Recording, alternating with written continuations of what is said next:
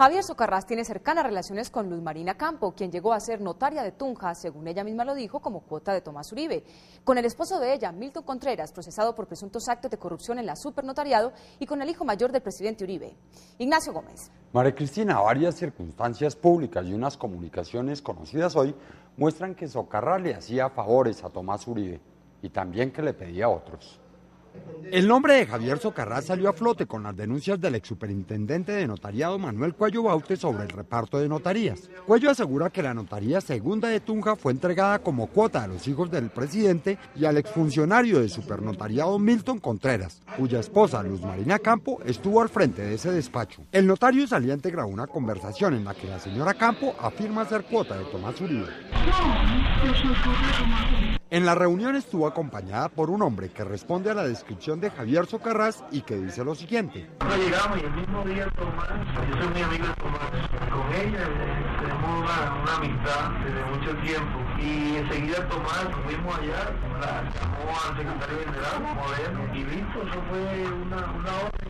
Fue en ese momento cuando Noticias Uno conoció que Javier Socarrás había hecho campaña para el Consejo de Bogotá presentándose con esta foto como el candidato de Tomás Uribe, quien además fue el invitado de honor a su acto de cierre de campaña. Voy a ser un poquito breve porque el joven Tomás tiene otro compromiso en Bogotá tiene que irse en 10 minutos. Socarrás además se hizo dedicar del músico Farid Ortiz un vallenato en el que menciona el nombre del hijo del presidente junto al del propio Socarrás y una consigna a favor de la reelección del presidente Uribe.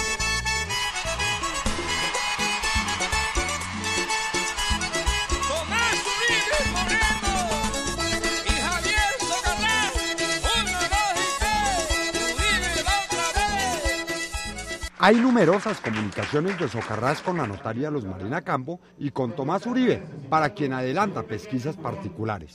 Joven, tengo algunos datos interesantes sobre la persona que le afectó su patrimonio económico. Espero que me regale una audiencia. También un poco antes de la última Navidad, Javier Socarrás le pide a Tomás Uribe que le ayude a gestionar seguridad de la policía en su visita a Villanueva, Guajira. Joven, yo viajo mañana con mi familia a mi pueblo. Quiero pedirle un favor. El mayor Herrera, cuando viajo a Villanueva, Guajira, me colabora a través del general Buitrago, recomendando mi seguridad con el comandante de la policía de la Guajira. Si puede, colabóreme cordialmente, Javier Socarrás. Herrera es un mayor de la policía cuyo nombre completo es Mario Fernando Herrera Ariza y quien dirigía la escolta de Tomás Uribe. En otra comunicación, Socarrás acudió a él para pedirle que influya en un nombramiento en el IMPEC. Mayor, estuve hoy donde el joven, me recibió muy bien. Me pidió también que me comunicara con usted porque su apoyo es importante en esto. Mi coronel Hugo Alfonso Cepeda concursó para director del IMPEC. Solo clasificaron dos hojas de vida, la de él y la de un señor Jesús Mota Varga. De todas formas, el joven me pidió su apoyo para con mi coronel Hugo Alfonso. Él quedó a llamarlo a usted urgente, sin más, su amigo Javier. El coronel Hugo Alfonso Cepeda fue nombrado como subdirector para la escuela penitenciaria del IMPEC unas semanas después de este mensaje. Una llamada de Noticias 1 a Tomás Uribe para pedirle su reacción sobre estos asuntos no fue respondida.